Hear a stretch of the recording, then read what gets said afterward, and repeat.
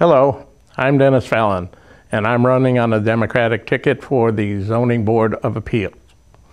I currently am serving on the board as an alternate member. I also serve currently on the Town Culture, Parks, and Recreation Commission.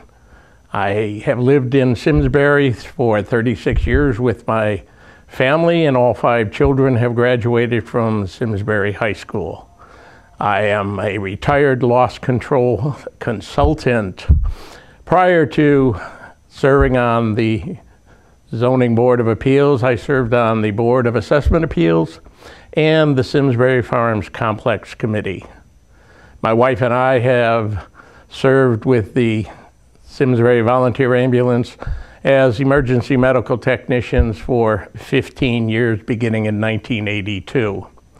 Currently, we are very deeply rooted in the town of Simsbury, and I desire to offer what services I am capable of to continue the growth and prosperity of this town. And I would greatly appreciate your vote in November. Thank you very much.